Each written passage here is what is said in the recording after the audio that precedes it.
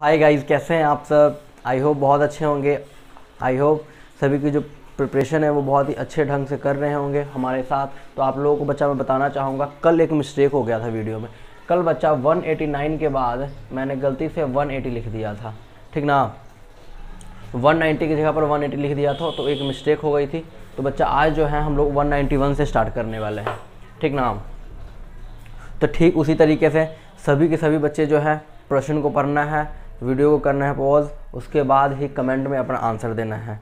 ठीक ना? तो सभी बच्चे जो हैं, वीडियो को करना है पॉज और कमेंट में आंसर देना है। और कोई भी बच्चा जो है स्किप करके वीडियो नहीं देखेगा, क्योंकि मैं, अगर आप स्किप करोगे तो क्वेश्चंस के दौरान कुछ ऐसी चीज़ें मैं बताऊँगा, जहाँ से आप और भी क्वेश्चंस को डेवलप कर सकते हो। लेकिन और भी क्वेश्चंस बनाए जाते हैं। तो सभी बच्चों को जो है वीडियो को स्किप कर कर नहीं देखना है। पूरे तरीके से पूरा वीडियो देखना है आप लोगों को। चलिए बच्चे, आज का सेशन स्टार्ट करते हैं। तो पढ़िए। एक सौ इक्यानवे प्रश्न को पढ़ना है। हार्मोन किसके द्वारा खोजा गया? हु डिस्कवर्ड हार्मोन पहला ऑप्शन है वाटसन एंड क्रिक दूसरा ऑप्शन है बिसीलियस एंड स्टार्लिंग तीसरा ऑप्शन है बेंटिंग एंड बेस्ट एंड जो चौथा ऑप्शन है हर गोविंद खुराना।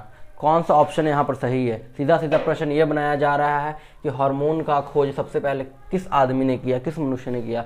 नाम क्या है उनका? तो बच्चा इसका जो राइट आंसर हो जाएगा, वो हो जाएगा बच्चा बिसीलियस एंड स्टार्लिंग के द्वारा हार्मोन खोजा गया। ठीक ना? इसका राइट आंसर हो जाएगा ये हर गोविंद खुराना नहीं होगा, ये भी नहीं होगा, ये भी नहीं होगा वाटसन क्रिक तो हार्मोन सबसे पहले बच्चा बिसीलियस एंड स्टार्लिंग के द्वारा खोजा गया। बिसीलियस एंड स्टार्लिंग के द्वारा सबसे पहले हार्मोन खोजा गया। चलिए अगला प्रश्न को पढ़ना है। एक सौ बानवे प्रश्न पढ़िए। सबसे पहले खोजा गया हार्मोन सबसे पहला जो हार्मोन खोजा गया था, वो कौन सा हार्मोन खोजा गया था? यानी कि दी ईयरलिस्ट डिस्कवर्ड हार्मोन सबसे पहला हार्मोन कौन सा खोजा गया था? ऑप्शन ए हमारे पास इंसुलिन है ऑप्शन बी सेक्रेटिन है ऑप्शन सी ग्लूकोजन है ऑप्शन डी ऑक्सीटोसिन है। कौन सा ऑप्शन इसमें सही है? तो इसका जो राइट आंसर हो जाएगा बच्चा, आप लोगों को बताना है कमेंट में। इसका जो राइट आंसर हो जाएगा बच्चा, वो ये होगा सेक्रेटिन ये दोनों इंपॉर्टेंट बच्चा बहुत ही इंपॉर्टेंट प्रश्न है। ठीक ना? कि हार्मोन किसके द्वारा खोजा गया और सबसे पहला हार्मोन किसके द्वारा खोजा गया? हार्मोन किसके द्वारा खोजा गया और सबसे पहला हार्मोन जो है, वो कौन सा खोजा गया? ठीक ना? ये दोनों इंपॉर्टेंट प्रश्न है आप लोगों को याद रखना है। चलो बच्चा, अगला प्रश्न देखिए। 193 प्रश्न को देखना है। प्रश्न को पढ़ना और कमेंट में आंसर देना है। निम्नलिखित में से कौन रासायनिक संदेह वाहक के रूप में कार्य करता है? में जाना जाता है which of the following is known as the chemical messenger आप लोगों ने WhatsApp messenger Facebook messenger Instagram messenger तो देखा होगा। यहाँ पर पूछा जा रहा है केमिकल मैसेंजर के रूप में कौन जाना जाता है? पहला ऑप्शन है पसीना स्वेट दूसरा ऑप्शन है एंजाइम तीसरा ऑप्शन है हार्मोन और चौथा ऑप्शन है पीयूष ग्रंथि, यानी पिट्यूटरी ग्लैंड कौन सा सही ऑप्शन है? कौन सा संदेह वाहक के रूप में, यानी कि केमिकल मैसेंजर के रूप में जाना जाता है? तो इसका जो राइट आंसर हो जाएगा बच्चा वो हार्मोन हार्मोन केमिकल मैसेंजर के रूप में जाना जाता है, यानी कि संदेह वाहक के रूप में जाना जाता है। एंजाइम नहीं होगा, पसीना नहीं होगा और पिट्यूटरी ग्लैंड भी नहीं होगा। अगला प्रश्न पढ़ना है। निम्नलिखित में से किसे मास्टर ग्रंथि कहते हैं? यानी कि which of the following is known as master gland इनमें से किसको मास्टर ग्रंथि, यानी कि मास्टर ग्रंथि के नाम से जाना जाता है। ऑप्शन ए है पीयूष ग्रंथि, यानी कि पिट्यूटरी ग्लैंड ऑप्शन बी है पीहन पीनल ग्रंथि, पीनियल ग्रंथि, यानी कि पीनियल ग्लैंड ऑप्शन सी है हाइपोथैलेमस ऑप्शन डी है थाइमस कौन सा इसमें से आप लोगों को कल की वीडियोस में मैंने बताया था, मास्टर ग्रंथि किसे कहा जाता है? तो इसका जो राइट आंसर हो जाएगा बच्चा, वो हो जाएगा कौन? पीयूष ग्रंथि पिट्यूटरी ग्लैंड और साथ में मैंने ये भी बताया था, ये हमारे शरीर की सबसे छोटी ग्रंथि है। पिट्यूटरी ग्लैंड हमारे शरीर की सबसे छोटी ग्रंथि होती है और पिट्यूटरी ग्लैंड के द्वारा जिस ग्रोथ हार्मोन का निर्माण होता है, वो है सोमेटोट्रॉपिक हार्मोन और आप लोगों को ये बताना है, हमारे शरीर का सबसे बड़ी ग्रंथि कौन सी है?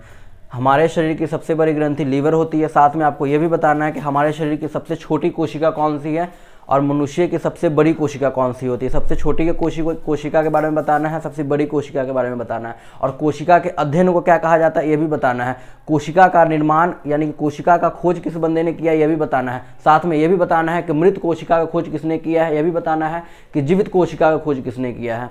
सभी चीज़ों का आंसर देना है कमेंट में, ठीक ना? यहाँ से लगभग मैंने 10-15 प्रश्न आप लोगों से अभी पूछ लिया है, सिर्फ़ पिट्यूटरी ग्लैंड से, ठीक है? तो बच्चा, कैसा लग रहा है आप लोगों को? क्वेश्चन प्रैक्टिस करते समय आप लोगों को ये भी बताना है कि आपकी जो एक्सपीरियंस है मेरे साथ कैसी हैं। ठीक ना? आप लोगों को क्या समझ लग रहा है, क्या नहीं लग रहा है? और जो आपकी एक्सपीरियंस है, कैसा लग रहा है? यानी कि क्वेश्चंस कैसे हैं प्रैक्टिस करके कैसा लग रहा है? अंदर से कैसा फील आ रहा है? आ रहा है कि नहीं? हमारा जो पेपर में प्रश्न है, अगर ये करते हैं तो एक भी प्रश्न छूटेगा नहीं। जितने भी मेंबर हैं, जितने भी स्टूडेंट्स हैं टोटल लर्निंग और टोटल प्योर एजुकेशन पे, वो क्या करेंगे? वीडियोस को बच्चा लाइक करना है, वीडियोस को लाइक करना ज़्यादा से ज़्यादा शेयर करना है क्योंकि ज़्यादा से ज़्यादा शेयर कर कर ही हम अपने बात को लोगों तक रख सकते हैं और लोग जो हैं डिफरेंट डिफरेंट स्टूडेंट्स बहुत सारे स्टूडेंट्स इस चीज़ का फ़ायदा उठा सकते हैं, ठीक ना? हम लोगों को बच्चा स्वार्थी नहीं बनना है, हम लोगों को साथ आगे बढ़ना है, ठीक ना? हमें और आपको साथ आगे लेकर बढ़ना है, ठीक ना? तो क्वेश्चन प्रैक्टिस करिए ज़रा। एक सौ पंचानवे प्रश्न को करिए। निम्नलिखित में से कौन सी अंतस्त्रावी ग्रंथि मस्तिष्क में उपस्थित है? समझ रहे हो? कौन सी एंडोक्राइन ग्लैंड्स जो हमारे ब्रेन में उपस्थित है, वो पूछा जा रहा है। इंग्लिश में पढ़ते हैं जरा। Which of the following endocrine gland is are present in our brain सीधा सीधा प्रश्न ये पूछा जा रहा है कि कौन कौन से एंडोक्राइन ग्लैंड है कौन कौन सी अंतस्त्रावी ग्रंथियाँ हैं जो हमारे मस्तिष्क में पाया जाता है, ठीक ना? हमारे मस्तिष्क में पाया जाता है, हमारे ब्रेन में पाया जाता है। पहला ऑप्शन है हाइपोथैलेमस दूसरा ऑप्शन है पीयूष ग्रंथि, यानी कि पिट्यूटरी ग्लैंड जिसे कहा जाता है। ऑप्शन सी है पीनियल ग्लैंड यानी कि पीनियल ग्रंथि, यानी कि पीनियल ग्लैंड ऑप्शन डी है इसमें से सभी, यानी कि जितने भी हैं, वो सभी मस्तिष्क में पाए जाते हैं। तो वीडियो को करना है पॉज और उसी के साथ आंसर देना है कमेंट में। ठीक ना? तो इसका जो राइट आंसर हो जाएगा बच्चा, ये हो जाएगा डी ठीक ना? इसका राइट आंसर हो जाएगा डी क्योंकि आप लोगों को, जो बच्चे मेरी वीडियोस को रेगुलर फॉलो करते हैं ना, वो इस प्रश्न का आंसर दे देंगे। क्योंकि मैं आज से लगभग दो चार दिन पहले मैंने यहाँ पर लिखा था और ब्रेन लिखा था और मस्तिष्क में कौन कौन से हैं ग्लैंड्स पाए जाते हैं, उनका भी मैंने लिखा था। तो इन तीनों ग्लैंड्स को मैंने लिखा था। पीनियल ग्लैंड भी लिखा था हाइपोथैलेमस भी लिखा था और पिट्यूटरी ग्लैंड यानी कि पीयूष ग्रंथि के बारे में बताया था। तो जो बच्चे उस प्रश्न को ध्यान से सुने होंगे ये प्रश्न क्या होगा? उसी के रिलेटेड लाया था मैं। ठीक ना? इसका राइट आंसर क्या हो जाएगा? डी यानी कि ये भी पाया जाता है, ये भी पाया जाता है, ये भी पाया जाता है। और ऑप्शन क्या हो जाएगा? सही। ऑल ऑफ़ दिस यानी कि सभी। तो डी ऑप्शन सही हो जाएगा। एक सौ छियानवे प्रश्न को पढ़ना है। डैश द्वारा स्त्रावित हार्मोन को न्यूरो हार्मोन कहते हैं। यानी कि किसके द्वारा स्त्रावित? यानी कि hormone secreted by dash is called neuro hormone किसके द्वारा स्त्रावित हार्मोन को किसके द्वारा स्त्रावित हार्मोन को, इन चारों में से किसके द्वारा स्त्रावित हार्मोन को, किसके द्वारा सेक्रेटेड हार्मोन को हम लोग न्यूरो हार्मोन कहा जाता है। तो जो बच्चे हैं, अगर ग्लैंड्स को अच्छे तरीके से पढ़े होंगे, वो बता देंगे कि इसमें से कौन सा ऐसा ग्लैंड है, ठीक ना, जो न्यूरो हार्मोन की सेक्रेशन करता है न्यूरो हार्मोन को स्त्रावित करता है। तो इसका जो राइट आंसर हो जाएगा बच्चा हाइपोथैलेमस हो जाएगा। हाइपोथैलेमस इसका राइट आंसर क्या हो जाएगा? हाइपोथैलेमस हाइपोथैलेमस द्वारा ही न्यूरो हार्मोन का सेक्रेशन किया जाता है, किया जाता है, यानी कि हाइपोथैलेमस द्वारा ही न्यूरो हार्मोन का न्यूरो हार्मोन का स्त्रावित किया जाता है, ठीक है? तो चलिए बच्चा, आगे पढ़िए प्रश्न को। एक प्रश्न को पढ़ना है। तो पीयूष ग्रंथि से स्त्रावित होने वाले हार्मोन के स्त्राव को कौन नियंत्रित करता है? पूछ रहा है कि पीयूष ग्रंथि से जो हार्मोन का हार्मोन जो स्त्रावित होते हैं, जिनका सीधा सीधा प्रश्न ये है कि पीयूष ग्रंथि के द्वारा जो हार्मोन का निर्माण होता है, जो हार्मोन का निर्माण होता है, उस हार्मोन को कंट्रोल कौन करता है, नियंत्रित कौन करता है? पीयूष ग्रंथि के द्वारा जो हार्मोन निर्माण होता है, उस हार्मोन को नियंत्रित कौन करता है, कंट्रोल कौन करता है, ये प्रश्न को पूछा जा रहा है। इंग्लिश में पढ़ देते हैं कि इंग्लिश में लिखा नहीं गया बच्चा, अच्छे तरीके से लगता है। Synthesis and secretion of pituitary hormone are controlled by चलो ठीक है, कोई बात नहीं, लिखो। देखो सिंथेसिस यानी कि बनाना एंड सेक्रेशन यानी कि स्त्रावित of pituitary hormone are controlled by कौन करता है? कौन करता है? तो ये आप लोगों को बताया गया है। आप लोगों को मैंने लिखाया था। लाइन टू लाइन लिखाया हूँ। कौन कंट्रोल करता है? कौन कंट्रोल करता है? बताओगे जरा? हाइपोथैलेमस कंट्रोल करता है।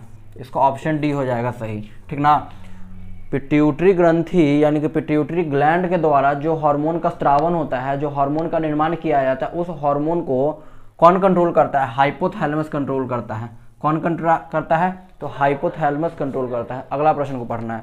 अगले प्रश्न को पढ़ना है। निम्नलिखित में से कौन सी निम्नलिखित में से कौन सी अंतस्त्रावी ग्रंथि हमारे तंत्रिका तंत्रिका तंत्र का, यानी कि नर्वस सिस्टम का का भी भाग है। यानी कि निम्नलिखित में से कौन सी अंतस्त्रावी ग्रंथि हमारे तंत्रिका तंत्र के भाग है? यानी कि नर्वस सिस्टम कौन सी ऐसी एंडोक्राइन ग्लैंड्स है जो नर्वस सिस्टम का भी पार्ट है। नर्वस सिस्टम का भी पार्ट है। कौन सी है?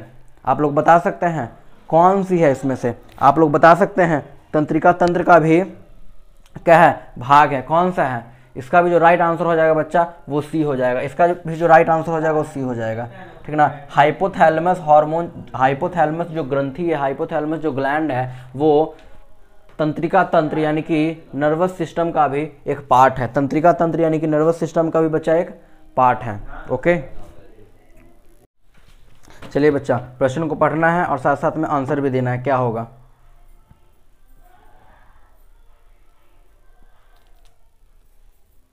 ठीक ना?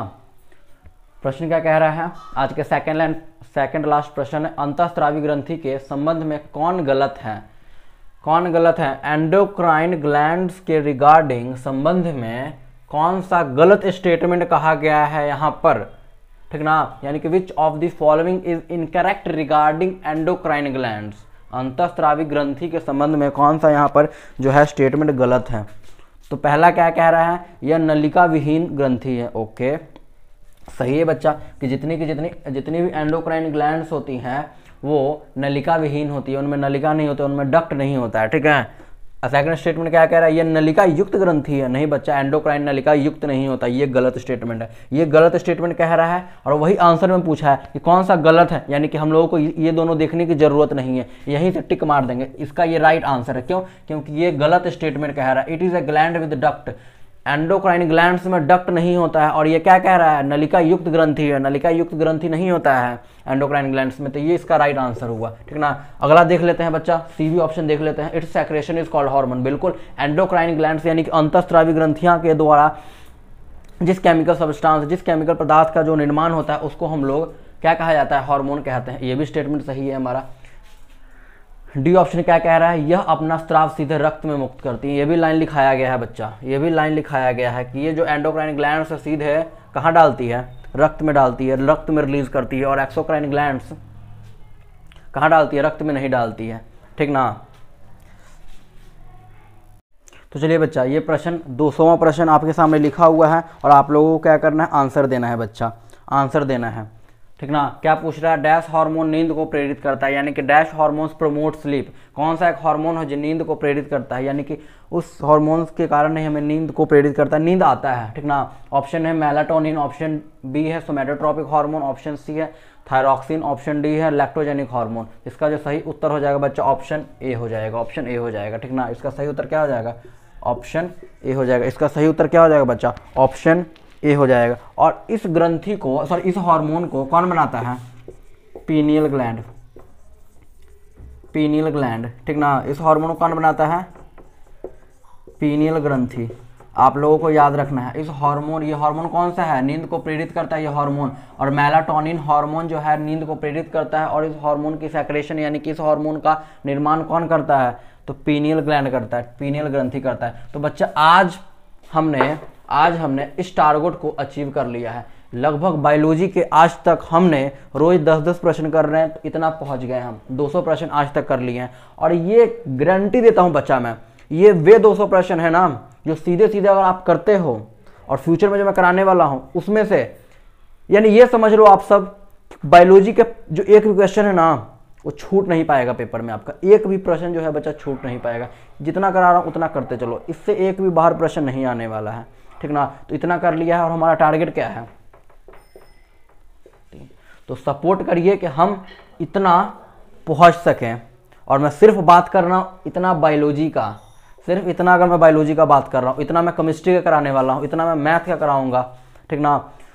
तो चलिए बच्चा, आज के लिए इतना ही। आज हमारा जो है 200 परसेंट पूरा हो चुका है। कल फिर आएँगे, फिर हाजिर होंगे आपके साथ। जो बच्चे इस चैनल को पहली बार देख रहे हैं, वो चैनल को लाइक करेंगे, सब्सक्राइब करेंगे, वीडियोस को लाइक करेंगे, चैनल को सब्सक्राइब करना है और साथ साथ में वीडियोस को शेयर करना है।